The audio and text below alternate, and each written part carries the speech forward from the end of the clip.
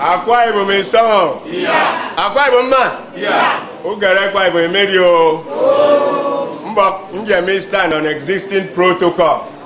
Sanyere pọsọn ini. May offer me to serve this great community as the general secretary.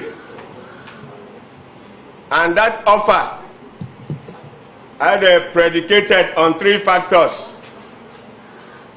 First, out of my wide leadership experience in community service, professional service, religious service, and sports.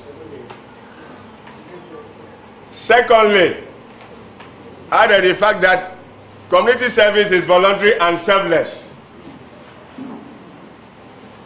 Thirdly, adoke many assurance ke election ibo gị na mme idega edu or die affair.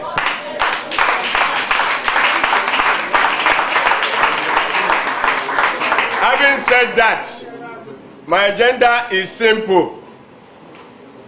As the General Secretary, Mbogonda Mimbo, as the General Secretary, Njano Scholarship, Odom President. But I want to assure this House that if I am elected as the General Secretary of this great community, I will ensure that our Secretariat is functional. Already, already I have identified the loopholes. And those loopholes include improper record keeping.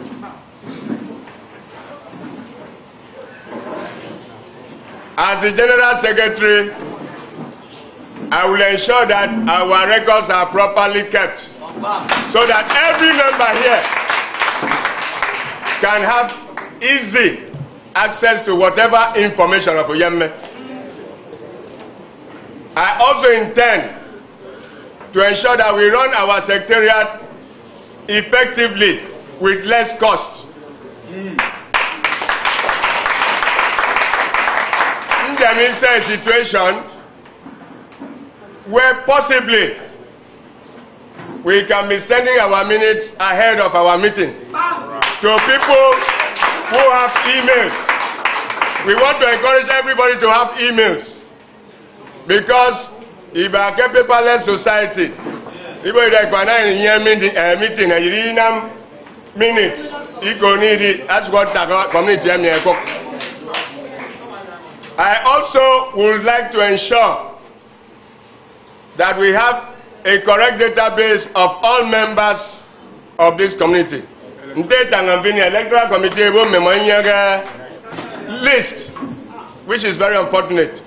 As I'm talking to you now, I already have a commitment from a mentor who has assured me that he will give this committee a set of computer and also send his consultants to help us computerize our data. God bless you.